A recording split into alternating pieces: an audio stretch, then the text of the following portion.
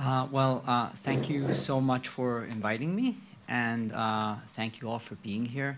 And I apologize that I can't give this lecture in Italian. Um, uh, I, I, could try giving it in Spanish, but that wouldn't help anybody. So uh, I think we're, oh yeah, you. so so, uh, so I, I, I, will, I will do what I can to, to give it as clearly as possible. Um, Okay, so uh, I, I, I, also apologize in advance. I'm not going to speak very much about uh, here in 19, even though, in fact, we have worked on this for now a couple of years. We just don't have very many robust results, and I have learned to be very careful before I present uh, research data, especially to uh, families, because I don't want to mislead you. So instead, I'm going to give you an overview of the kind of work we've been doing, trying to understand uh, rare genetic uh, diseases and how they arise and trying to develop new treatments. Uh, so I am uh, at uh, the Novartis Institutes for Biomedical Research um, and I study autism. And uh, I, I, just want to tell you a little bit about myself. I, I, I left I left, I left my, my uh, I left, I was born in Colombia in South America, and I, I left home when I was 16 to go to the United States.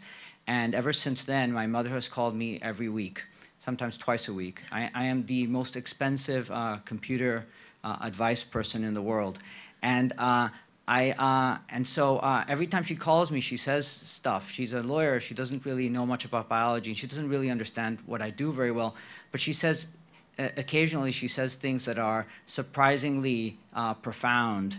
And one of the things that she told me the other day was she said, you know, I'm amazed. She knows that I work on autism, and she said, I'm amazed at how much progress you're making in autism. Every day you discover something else that causes it, uh, which uh, is kind of damning by faint praise. We, we know about a lot of things that cause diseases, but we have not been so great at actually coming up with new treatments.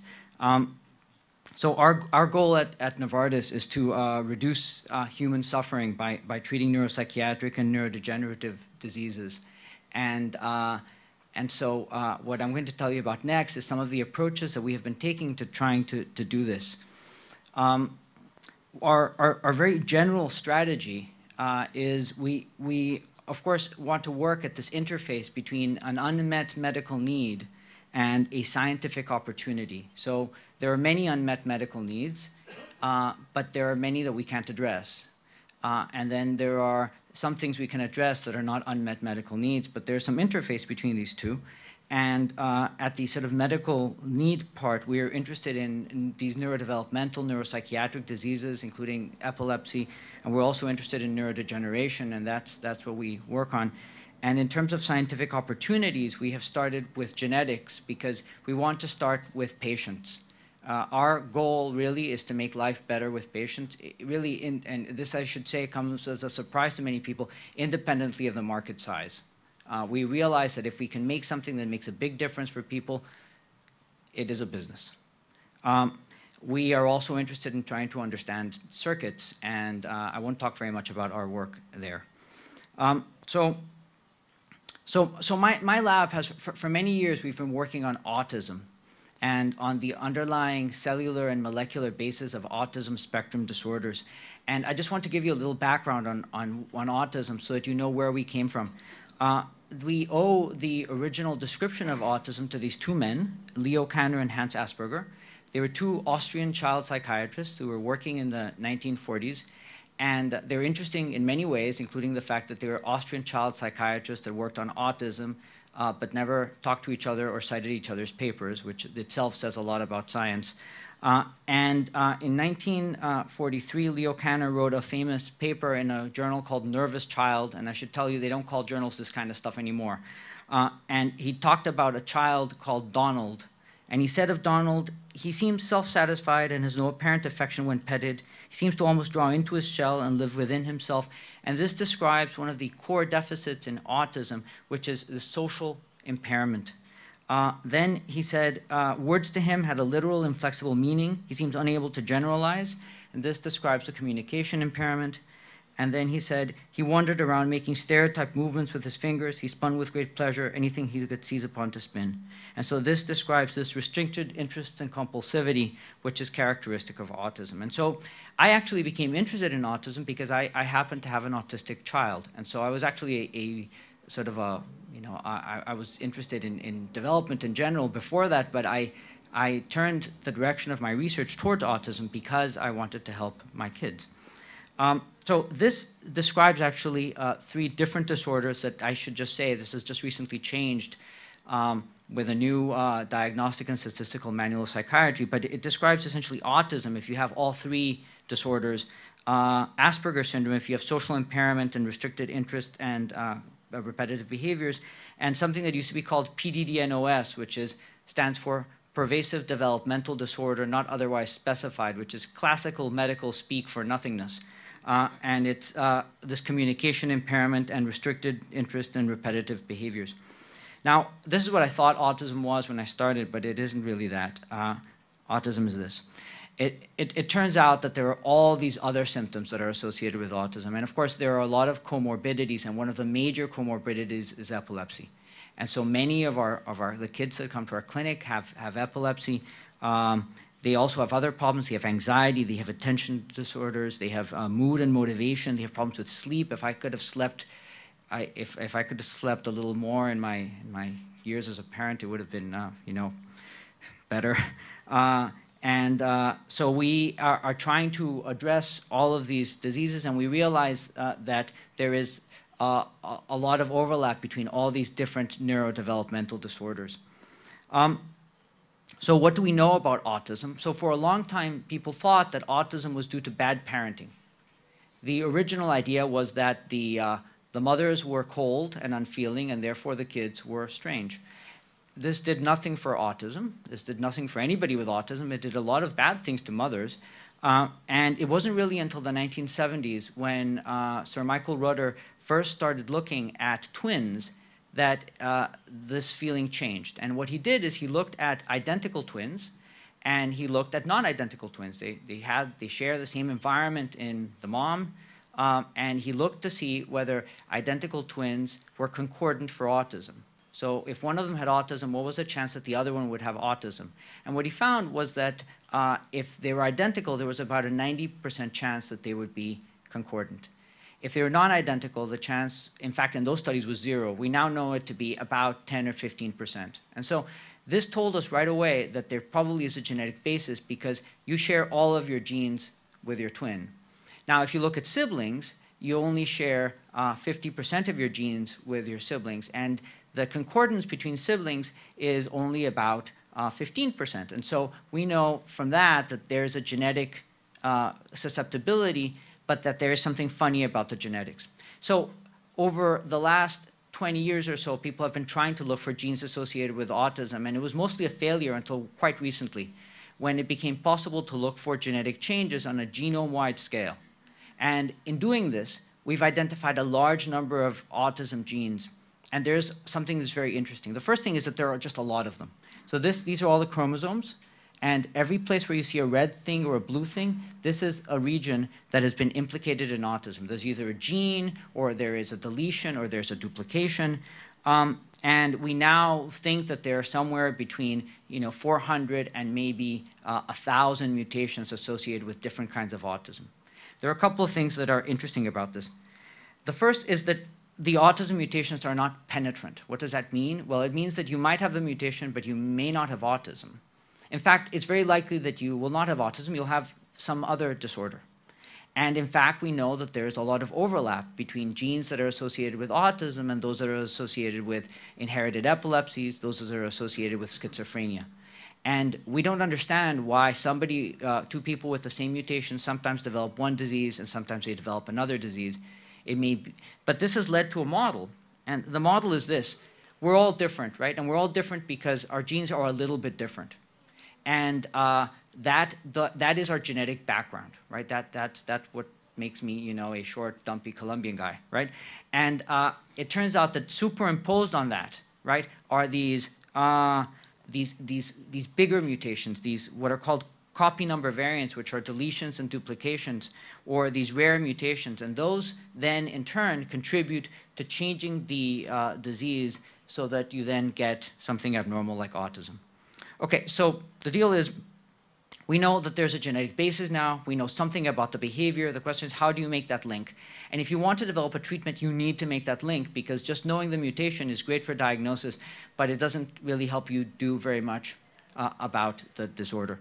So conceptually, it's straightforward. We need to be able to link genes to the things that they affect, and they basically affect cells.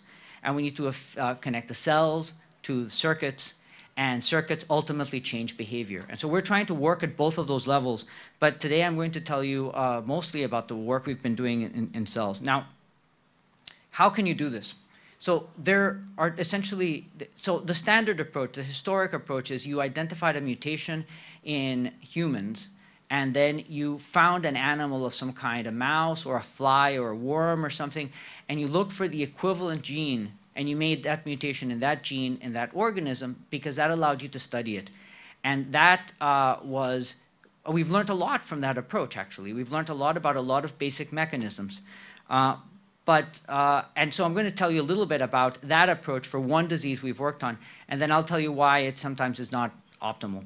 Um, so, the, the, so you, can, you can make a mouse, and this is what we've done. Uh, we've made a mouse model of one of, of, of, in fact, many of these disorders. And I'll tell you uh, about a mouse model we made of this disorder. This is 16p11.2 deletion syndrome. Uh, these, these kids uh, have, uh, they, they all have some sort of a psychiatric uh, disease. So about 78% of them have what is called some diagnostic or statistical manual diagnosis in psychiatry. only about 15 of them, percent of them have autism, about 44% of them have a language disorder. 32% uh, of them have intellectual disability. 15% have ADHD. About 15% of them have uh, early onset epilepsy. About 64% of them are obese. And it is caused by a mutation in chromosome 16p11.2, uh, which happens to be uh, a set of genes that is conserved on chromosome 7 in a mouse. So uh, a very talented uh, postdoctoral fellow in my lab, Thomas Portmann, generated a mouse model of this. Uh, it was actually very complicated because it's a lot of genes and he had to target uh, this, the, this region. Uh, and he, he finally made a mouse uh, in which he could delete this region in any specific tissue in the mouse that he wanted. And, and he, he made this mouse. And so I'm just going to show you a little bit about this before I move on to the second part of my talk, which is about iPS cells. So so one of the, the, the, first things he, he did is he looked at the behavior of the mouse. I'm going to let you guess uh, which one is the mouse. These are sibling mice, but only one of them has a mutation. All the patients are heterozygous, and the mice are heterozygous as well, so they have the mutation in only one chromosome. And if you just look at them, so I'll let you guess which one you think is the one that's affected. So uh, this guy is, is, is affected, and he's, he's, pretty, he's pretty sick. Uh, and uh, he in fact, you can sort of measure this, you can, you can quantitate this, and you can see that uh, he rotates uh, dramatically over time. And this, this is interesting, and we've been working on trying to understand this, and I'll show you about one other phenotype, the behavioral phenotype that they have. But this, of course, provides some insight into the, the behavior. But the interesting thing is that uh, this is, this is some sort of hyperactivity in the mouse. It turns out that most of the 16p11.2 kids are not hyperactive. Uh, so this is, gives you insight into the biology of the genes, but it doesn't necessarily give, tell you so much about the behavioral consequences of the mutation in a human. Um, the other thing to notice is that if you look, this is what individual mice look like. So every one of these dots is a single mouse. And these are wild types. These are the ones that are normal. And then these are the ones that have the mutation. And you can see that there are a whole bunch that are down here. There are a few that are up here, but there are a whole bunch that are down here. And it turns out that every generation, only about 20% of the mice have this profound circling problem. So all of these mice, unlike all of you, are genetically identical. We've inbred them. And so it seems that there is, in fact, some sort of a stochastic event, something that happens that we don't quite understand that is changing whether you get the disease or not. And this is both good news and bad news because it tells us there is something in the environment that is changing whether they get the, this, this kind of circling behavior. We don't know what it is, but we'll try and figure this out. Now, the other thing you can do, of course, is you can try and see if there are any kind of social behaviors. And many of these kids have autism, so we looked for social behaviors. And by and large, it seems that the social behaviors are fine, except for this one very interesting test. Uh, so uh, we, we were trying to develop assays for looking at social interactions in mice. And so we developed something called a social memory test. And uh, the way it works is as follows. This is our mouse here for the purposes of illustration. And uh, what we do is we present a mouse with a, a female mouse and then we look to see if uh, the female, the male mouse is excited, and he's very excited. And we measure this by how long he spends interacting with the female. And then we wait 10 minutes, and then we present the same female again. And it turns out that the, because the female is not novel, he is little, a little less excited. So we take the female out, and we wait 10 minutes, and he's less excited. And by about half an hour, he's not excited at all. And then we do as a control, we present the new female, and he's really excited again. Okay, so uh, this, is, this is the way the assay works. Uh, and uh, you can do this in a mouse. So, uh, so this, this is how it works. So we, we, this, is our, this is a wild type mouse. This is our 16P mouse. We introduce a, a mouse here, and you can see that it's very, very excited about the new mouse. We can do the same thing, and so is the 16P mouse. He's also very, very excited. So now we're going to jump to the fourth presentation. And so if you, if you do this in a, in a wild type mouse, he's, he's not that excited anymore. It's just not the same, right? But the 16P mouse, surprisingly, is still really, really, really excited. And so this is exactly the opposite of what we, what we expected. So in fact, these kids are autistic, but in this particular case, they, the, the mice actually just, just uh, they, they, seem to, uh, they continue to interact. Um, and uh, in fact, I, my graduate student uh, who was actually doing these experiments said that they were sort of like the perfect husband. Um, uh, so so you can then do the control, and if you do the control, uh, you know, again, you can see this is a, a, novel, this is the new mouse, and again, they're interacting uh, continuously. So you can measure this, right? And so you can look to see what happens to the 16p mice. And so a wild type, over time, becomes less interested in the female, right? But the, uh, but the mutant uh, continues to be interested, uh, despite the fact that, in fact, they don't habituate. At first, we thought that this was exclusive to other mice, but then we did the control experiment. And the control experiment is to do exactly the same thing, but not do it with a mouse, instead do it with an object.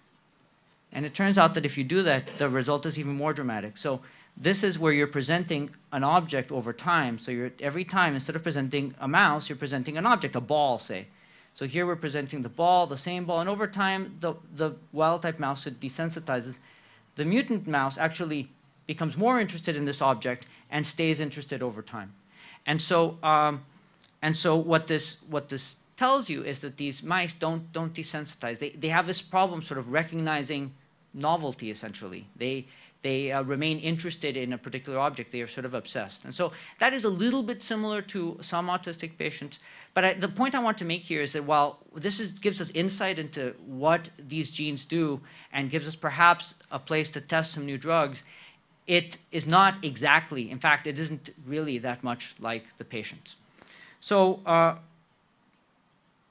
so mice are great, but they clearly have problems. And, and, and one of them is that, of course, we can just phenotype people much better than mice. We, we really understand humans quite well. We have a whole system dedicated to figuring out uh, the, how people behave. Uh, and we just don't understand that in mice. And our mice, they, they often, they just don't reflect the phenotypes that are associated with people. Um, the second problem is that, as I told you before, most of these diseases are multigenic. So you have this mutation, but then it's superimposed on a genetic background, and that matters. And we need to be able to replicate the genetic background that's associated with particular individuals. And we just can never do that in a mouse. And then the final problem, which is a subtle one, but some, one that we as biologists have been ignoring for, for really 50 years, is the fact that there are 60 million years of evolution that separate us from, from mice and rats. And as a consequence, our brains are really different. And there are parts of our brain that really do not have an equivalent in the mouse. And I would say that, for example, mice don't really have a medial prefrontal cortex, which is this thing, which is this gigantic piece of the brain, hardly exists in the mouse at all, right? And so uh, so as a consequence, uh, it's, and we know that this is critically important for a lot of behaviors, including the onset of some epilepsy. So, so we need to, we need to model something that is a little bit closer to the patients we're trying to treat. So how to do that? Well, you know, in neuroscience, we, we've, for a long time, we've had what I would describe as oncology envy, which is a bizarre thing to talk about. But, you know, in, in people who study cancer, uh, we've made great strides, actually, in treating cancer. We don't have it cured, but, you know, companies like Novartis are developing amazing new treatments. And part of the reason is that we had access to tumors. It turns out that you can take a piece of somebody's tumor, you can study it in the lab, you can use that to characterize the tumor, and you can use it to develop drugs. That is incredibly powerful. The problem is we could never do that in neuroscience. And we couldn't do it in neuroscience because we can't drill a hole into somebody's head and take some neurons out and then characterize them. That just that's not viable.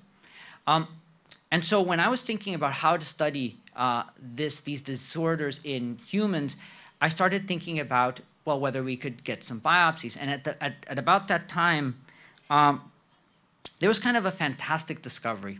We used to think that development, brain development, was like spilling water. You know, you spill water, but you don't ever unspill water. It's a one-directional process. Uh, because you know it essentially accumulates disorganization. And we thought the development was like that that you know when you start off with a being a fertilized egg and then you become a human and and that's a one directional process. It doesn't go backwards. And that turns out to be wrong. You can take a fully differentiated cell like a skin cell or a blood cell and it turns out that you can take these uh, genes that you can introduce them into the nucleus and it changes the way that the dna is folded.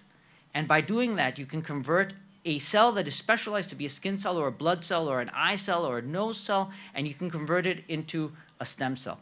And that is a profound change because what that means is we can take skin cells, which we can access, or blood cells, which we can access from somebody with, for example, a protocadherin 19 uh, mutation, and we can then convert them into stem cells, and we can take those stem cells and convert them into these little brain organoids.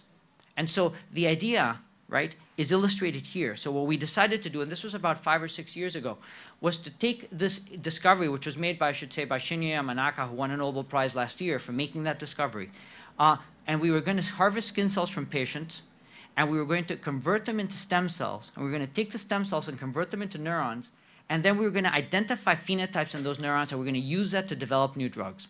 So I'm going to tell you about the progress we've made in trying to do that. It's taken a long time, but I think we're moving forward in a number of diseases. So the first question I should say is, is how do you actually do this? I'm just going to take you through this very quickly because this is probably new to many of you. Uh, and so the idea is essentially this. We start out with cells that look like this. These are skin cells. We introduce these reprogramming factors uh, into the cells. We can do this with viruses or we can do this with these things called uh, episomal vectors. We can then, uh, the, if you wait long enough, the cells become cells that look like this. We can now do this in, in less than a week. So we can start uh, in, in a week, we can actually generate these, these iPS cells. We can do it with essentially 100% effectiveness from anybody. Okay? We can then, uh, we have a whole series of quality control and standard operating practices. So we can now do this for hundreds of people uh, this, are, this, this, for example, tells you that these cells really are stem cells because they produce the proteins that are characteristic of stem cells. Uh, this is a gene, this is the analysis of a gene expression array. The only thing you need to see is that these are human embryonic stem cells. These are the cells that we're making. They're called iPS cells for induced pluripotent stem cells. Uh, and they're very different from neurons or progenitors or fibroblasts in their gene expression. And we and other people have worked on trying to figure out how to make really good ones, and we can make really good ones. So the next question is, can you convert these stem cells into neurons? And, and uh, the answer is yes. Here, we really are, like in most of science, sitting or standing on the shoulders of giants. People have worked on this for a long time, since the time of Sperry, who, who won a Nobel Prize for uh, identifying the uh, organizing center. Uh, we, we have known that there are these morphogen gradients, these growth factors that determine the function of a developing cell. And so we can uh, start with what is effectively a, a, stem cell, which is the very earliest cell that has the capacity to be any other cell, and then we can withdraw a growth factor, and we can convert these cells into these little little called, things called embryoid bodies, which have three germ layers. And we can take these things and then culture them so that they make these circular structures called rosettes, which are very much like the cross section of a neural tube which is a very earliest stage in the development of the, of the brain. And then we can take these things and culture them so they start making these little balls. And these little balls look a lot like little brains. And we know they look a lot like little brains because we can cut them down the middle and we can see that they have progenitor cells. And these are the green cells here that are stained with an antibody. They have little born neurons. And if we wait long enough, they actually have, uh, they, they become these elaborate networks that look for all the world like the cells that you would get from a brain. And, uh, and so you can sort of see uh, what this actually looks like. Uh, if I were to show you just the same stain from cells that I had taken from a brain, you wouldn't be able to tell the difference. Um, we've worked a lot on trying to characterize these cells, and it's been very important to us. You know, in, in, in our business, we have to make absolutely sure that everything we do is really, really robust.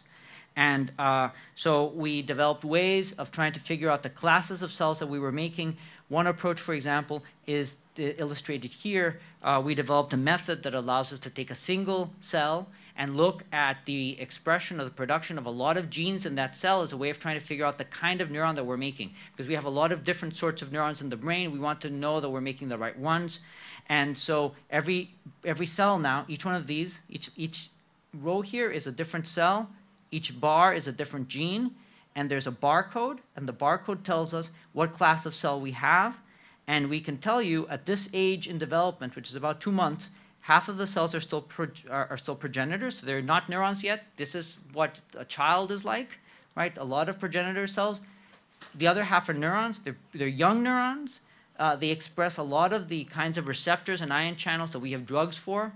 Uh, they even have markers that allows to determine what layer of the brain they're from. So you know our cortex has different layers, right? There are six layers.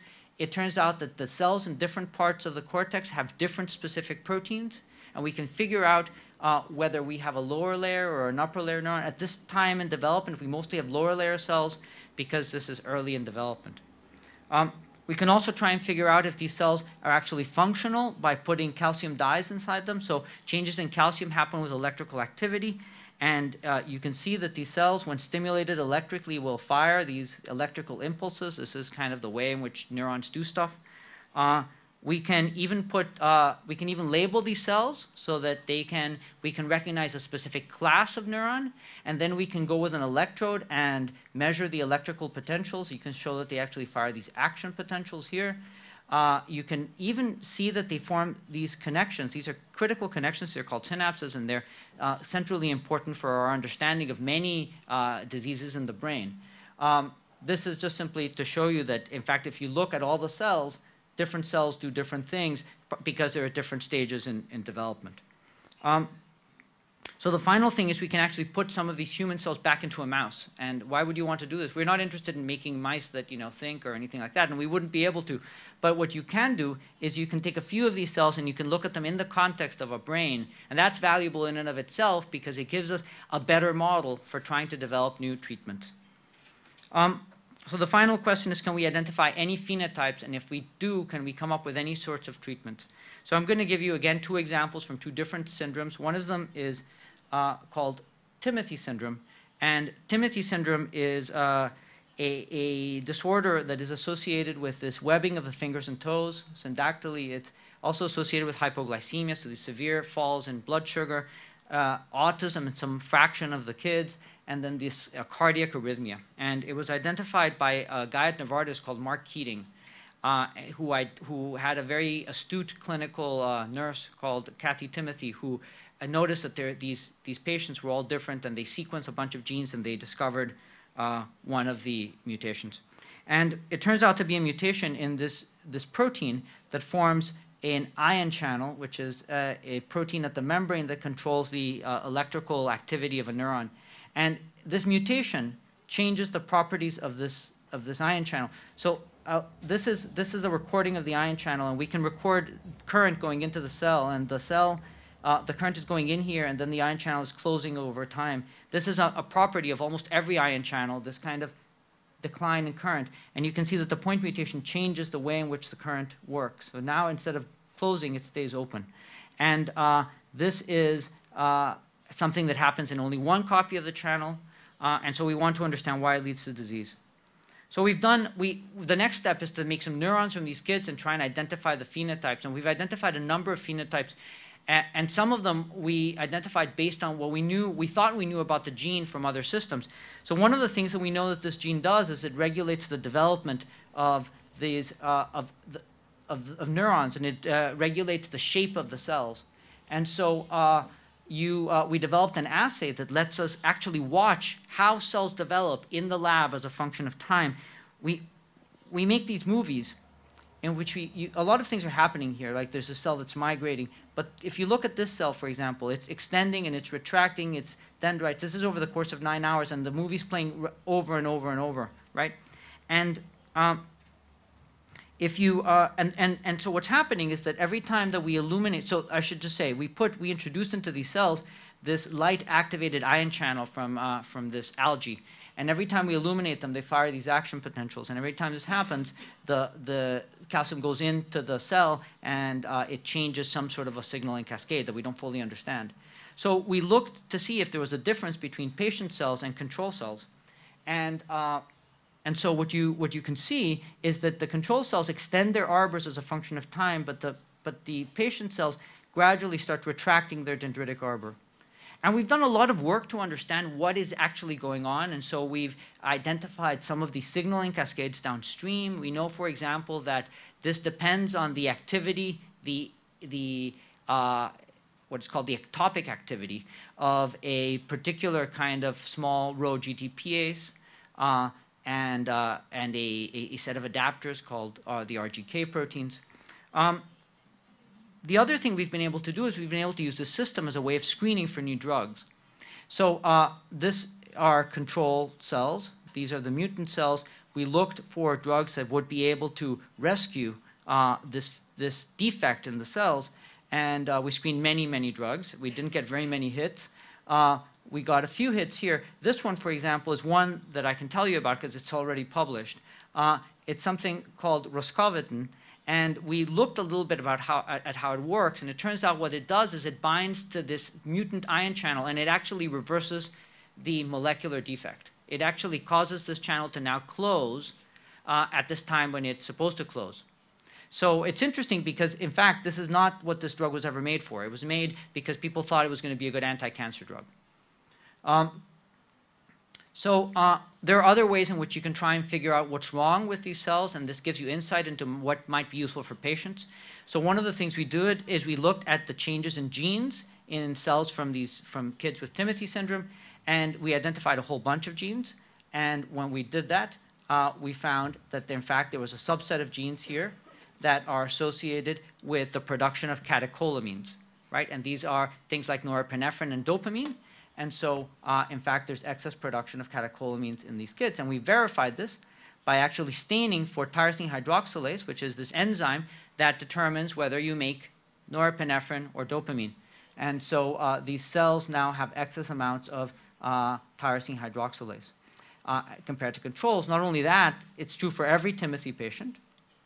And furthermore, not only do they produce the enzyme, they actually produce excess amounts of norepinephrine or dopamine. And so this has led to a change in clinical practice. So now we give these kids beta blockers because we have ways of blocking the activity of this hormone. Okay? So the final thing is we look to see if this excess amount of norepinephrine that the kids were producing was reversible in, in, in our cells. And it turns out that it is because you can treat the cells with roscovitine, and this actually changes uh, the fraction of cells that produce tyrosine hydroxylase. This is really useful because it tells us there are some aspects of what people used to think was an intractable developmental disease that is actually treatable with a drug, right? Okay, so uh, I, am going rather slowly, so I'm going to try and, and, speed up for the last few slides here, but uh, I just want to summarize what I told you. Uh, so we can now make these uh, uh, cortical neurons uh, from kids with neurodevelopmental diseases. These neurons are functional, they fire action potentials, uh, the, the, cells from kids with Timothy syndrome show this excess dendritic retraction, which can be rescued by, by a small molecule. They also show an excess production of catecholamines, and we can use them to, uh, to screen for new compounds. Um, so I'm going to just finish by telling you about another disease we've worked on called Phelan-McDermid syndrome. And this is a disorder associated with neonatal hypotonia, global developmental delay, and absent or severely delayed speech and it is caused by a deletion of chromosome 22q13, which is, uh, encompasses many, many genes, including a gene that is thought to be important for the formation of synapses called SHANK3. And SHANK3 is important because it's a key scaffolding protein at the postsynapse. And uh, because we thought that synaptic transmission was going to be important, we developed a system that allowed us to measure synaptic transmission in these cells. Uh, we compared cells from, uh, so what we did is we, we took cells from patients and cells from uh, kids that didn't have the mutation, and we put them in the same dish, and we compared their properties electrically. And so uh, so what we found is that in fact these the cells from these kids have much much smaller synaptic transmission. So you know cells make connections with each other. Those connections are called synapses. This is the way information is transferred. And it turned out that there is a severe defect in synaptic transmission in these kids, which you can see here. Uh, this is quantified here, but you can basically ignore this. Just focus on this. There, there's a very, very severe uh, defect, especially early on. Um, it turns out that this is actually due to loss of SHANK3. This is an important thing to establish because these kids tend to be missing tens of genes, sometimes hundreds of genes. And you can introduce the SHANK3 protein into the cells and you can actually rescue the synaptics. You remember it was really tiny, now it's really big. And you can rescue it in almost all of the patients. Um, you, we then did a, we looked then for agents that might be able to, so you know, we can't very easily introduce SHANK3 back into the brains of these kids. But what we can do is try some small molecule or a growth factor. We tested a few growth factors that uh, were part of this thing called our secretome. Um, and uh, one of the ones that rescued is this uh, growth factor called insulin-like growth factor 1. And it turns out that we could actually rescue synaptic release uh, using this insulin-like growth factor 1, and you can see how that's happening here. Okay, so this is interesting because this has now led to a clinical trial on insulin-like growth factor 1. Now, we're working on better versions of it. Uh, we know that it's not a very good drug, but the foundation was very interested in pushing this forward. Um, we know a little bit about how uh, insulin-like growth factor 1 works. We first thought that it might rescue by restoring SHANK3 expression in kids. That turns out not to be true. Uh, so here you can see SHANK3 levels under control conditions. When you treat with IGF-1, the red stain goes away completely, but the green stain goes up. The green stain is a stain for new synapses. So, so, so for some reason, this IGF protein, this insulin-like growth factor, causes a loss of SHANK3, but an increase in the number of synapses. We don't exactly understand how that works, um, but we have noticed that uh, this is because there is something fundamentally different about human neurons. Um, it used to be thought that every green, every, every synapse that had this green spot also had a red one. Every synapse had SHANK3. And it turns out that that's definitely true in rats, but it's not true in humans. So in humans, there are many, many of these green spots have no red spot. Many red spots have no green spot. This is true also in the brain. Uh, and so, uh, so what you can see here is that in fact there, we make insights by studying human cells that we would just never be able to make if we had a model mouse system. So um, we have a model for how we think insulin works. I, will go through this just very quickly. What we think is that, in fact, SHANK3 is required for these early born synapses uh, and that IGF-1 causes a transition from these synapses that have SHANK3 to synapses that don't have SHANK3 but have another protein called PSD95. And uh, in patients, uh, IGF-1 actually causes, uh, allows you to bypass this SHANK3 step, by, perhaps by uh, accelerating development. So in a sense, uh, the patients, the Phelan-McDermid patients have, uh, have, have a kind of impaired, uh, an impaired developmental synaptic maturation. Um, so just to summarize then, Phelan-McDermid patients have a defect in synaptic transmission, the defects uh, are due to loss of SHANK3. They can be restored by IGF-1. Uh, and this happens because it converts cells that have Shank, uh, synapses that have SHANK3 into ones that now have this new synaptic protein called PSD95. So where are we now? I would say in some ways we've made huge progress. Look, when I started, we knew virtually nothing about autism right? We didn't actually know most of the genes. There had no mouse models. We had no human models. We had no anything. What we knew was that there was a genetic basis and that the thought was you couldn't do much about it beyond perhaps education and symptomatic treatment. Um, I think we've made some progress. We can make neurons from kids with autism, right? We can make mouse models. We can identify defects in these neurons. We can identify compounds that reverse these defects in the lab, and that's really important because that's how we make progress. Um, and so that's the good news. But we're still not there. Uh, and what are the issues? So first of all, the human neurons that we make are still not mature. So this is great for development. This actually is great for early onset epilepsy. It's not so great for, you know, Alzheimer's, but we're still working on that.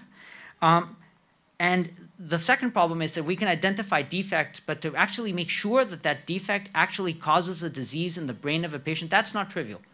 And so one of our biggest problems in the pharmaceutical industry is to come up with really well validated preclinical assays.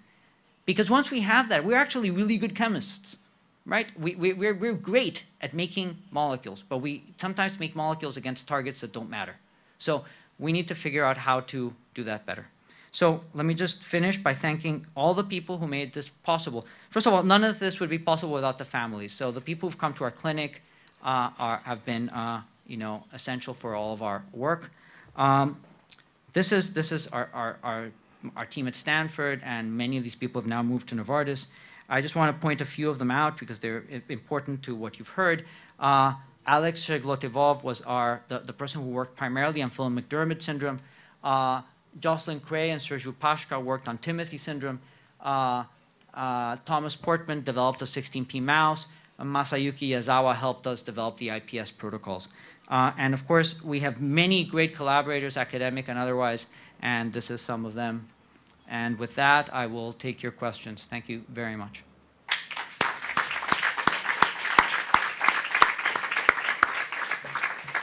So you treated your IPS cells with um, roscovitine and you get great results, and you treated them while they were developing. Yes. Do you think that these uh, can be translated um, uh, on uh, uh, the therapy on humans after the embryonic development, or mm, the treatment should be done while the embryo is developing? Well, we're yeah, we, we don't think we can treat anybody as an embryo.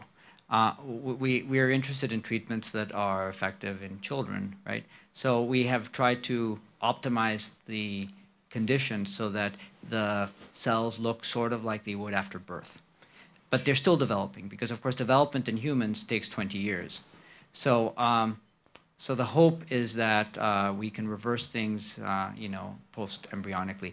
It's, it's actually really difficult to determine precisely when precisely when the treatment would be effective, uh, just simply because uh, the mouse actually doesn't model that very well. The mouse, I should say, the Timothy mouse, for example, doesn't have Timothy syndrome. It doesn't even have a cardiac arrhythmia, actually. So, um, so we can't really do that. But so we can make the best we can do is try to make uh, human these brain organoids and uh, uh, accelerate their maturation in vitro, and then see whether we can reverse the defect uh, at that point. Uh, but of course, as, as, as people interested in, in, in, therapy, we, we very much want to make sure that it, it, we work on things that we believe are reversible. And I, I mean, this is, I should say, goes counter to most of the pharmaceutical industry, but we really think that some of these developmental disorders are tractable because we believe that development in humans occurs after, a lot of it occurs after birth. So. Thank you. I would like to ask you a question. Sure. Uh, you showed the methodology of, uh, in some way, of growing up uh, differentiated cells from IPS and then uh, transplanting them back to the uh, mouse brain. Now, the, the, the reason for this is to increase synapto uh, synaptogenesis, increase, um, accelerate development of, of these cells. no, so that. Or you have to do it, or you the, the, utilize this for a you know, selective experiments or whatever, yeah. or it would be a general methodology that you would suggest and so on? So I, I wouldn't, it's a very slow, painful process. Uh, we mostly did it because we wanted to be able to study the cells in the context of a circuit that we understood. And when you make cells in a dish, you don't have any circuit. You just simply have cells that are connected to their neighbors. So, um, so that was the main idea. It turns out we were hoping that it would increase maturation, and in some ways it does, because you can keep the cells longer. Uh, but it's, there is an intrinsic program in humans that delays the development of neurons. So we have a much bigger brain than a mouse. And one of the reasons is that our cells go through many more divisions, at least five or six more divisions, before they actually differentiate. And then it takes them a long time to differentiate. And a lot of that seems to be intrinsic. It's not something that uh, it's, it's sort of an intrinsic part of the, of the program. So we've done those experiments mostly as a proof of principle that we can uh, actually use it as a way of studying, uh, uh, as, as, as a way of studying the cells in a more sort of native context. Thank you.